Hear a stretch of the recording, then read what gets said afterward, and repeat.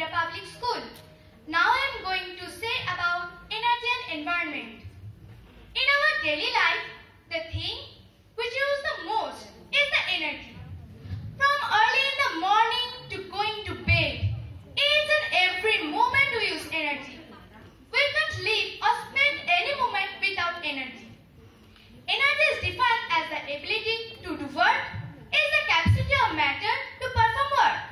On the other hand, the environment means the surroundings and conditions in which a person, plant or animal lives or operates.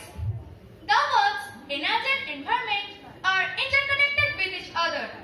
The relation between the energy and environment is that the environment is the big source of energy. At the same time, the environment is enriched by different types of energies.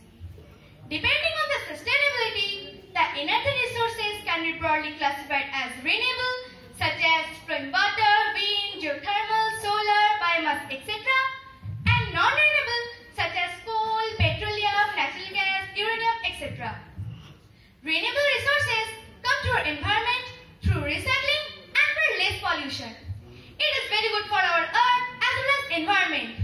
But it has some adverse impact that the primary expenditure is too much.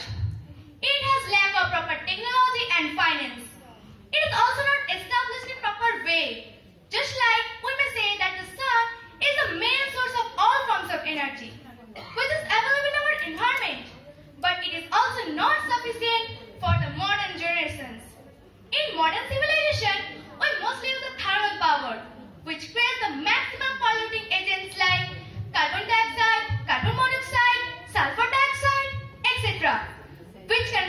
adverse effect on the environment. Nowadays, the pollution is the burning problem of environment as well as our earth also. Not only that, the raw material of thermal power is mainly coal, which is going to exhaust due to overuse. So, to save our environment and existence of our planet, it is a time to take decision that we should use nuclear energy.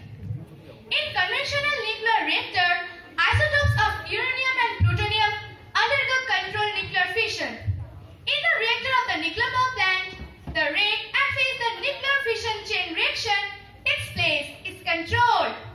If we compare with other power plants, we should look that it creates less amount of pollution.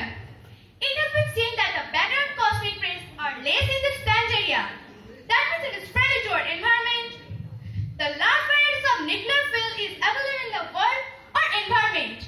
So this plant can generate energy thousands of years continuously with creating very less pollution.